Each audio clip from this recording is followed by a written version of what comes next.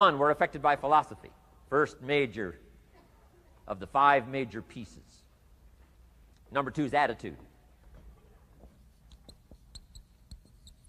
We're affected by how we feel. First, we're affected by what we know and the decisions we, and the decisions we make. Second, we're affected by attitude, how we feel.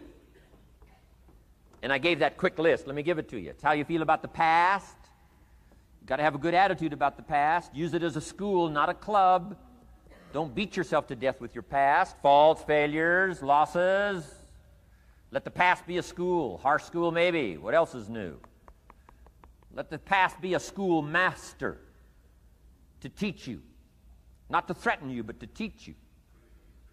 Okay. Next, it's how you feel about the future. Set your goals. We'll talk a little bit about that before we finish today. Goal setting. The promise of the future is an awesome force to affect your life every day. Without a future well designed, we take hesitant steps. And all you have to have is hesitant steps. For six years, you'll be timid, driven into a corner, not boldly willing to go and take your portion, take your share. Okay? Next, it's how you feel about everybody else. Got to have a good attitude about everybody else because it takes everybody else to make a market. One person doesn't make a family. One person doesn't make a business. One person doesn't make a corporation. One person doesn't make a community. One person doesn't make a nation. It takes all of us to make a dynamic economy, a nation second to none. It takes all of us to make the churches and make the economy run. It takes all of us to make the possibilities. All the gifts that have flowed in here the last 200 years, unprecedented in six and a half thousand years of recorded history. There's been nothing like it. The ethnic streams that have flowed in here brought their gifts, brought their talent, brought their skills, brought their inventions, brought their work ethic. All of it mixed together is called America. Been nothing like it in six and a half thousand years. And to miss the value of it by some, you know, warped attitude about it, I'm telling you, you've missed it all. And if you have an appreciation for it all, you'll draw from it.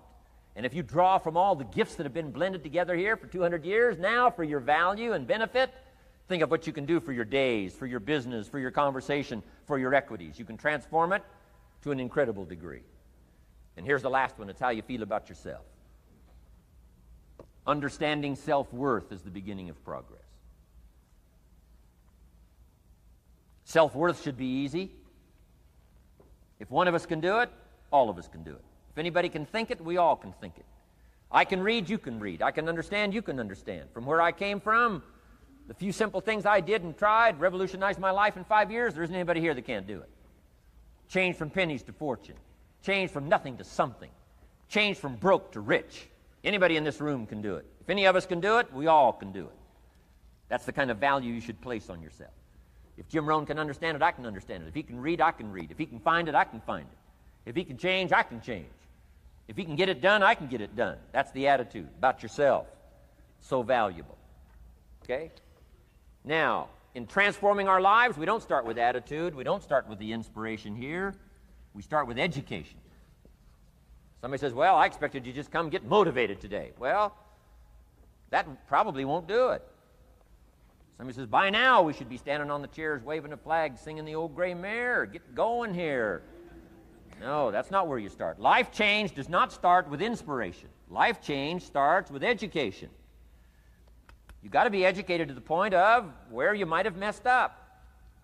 My teacher put it in blunt, simple language. He only went to the ninth grade in school, so he put it in simple language I could understand. He said, Mr. Rohn, after six years living in America, healthy American male, 25 years old, been working six years, one year of college, pennies in your pocket, nothing in the bank, behind on your promises, Shoaff said, I just got one simple explanation for that. You've messed up. now, I could understand that kind of language. Substitute a Hershey bar for an apple means you've messed up. Should walk around the block, could walk around the block, won't walk around the block. You have messed up. And all you got to go is write down through the list. Don't need some teacher to come by and tell you. Be your own best teacher, saying, hey, let me make a list of some places I've messed up. Because if I let this down, let this down, that probably affects the rest. And the answer is that's true. So we don't start with inspiration, we start with education. Somebody says, well, just motivate this guy, he'll be all right. Just motivate him, get him turned on. Probably not. If a guy's an idiot, you motivate him. Now you got a motivated idiot. no, he won't be all right. So we start with education. What's the first education? If it isn't going well and you live in America, you have messed up. You don't need to change countries. You say, well, the country's messed up. That's like cursing the soil and cursing the seed and the sunshine and the rain, which is all you got. Don't curse all you got. When you get your own planet, you can rearrange this whole deal. But this one, you got to take like it comes. So, number two was attitude. Here was number three.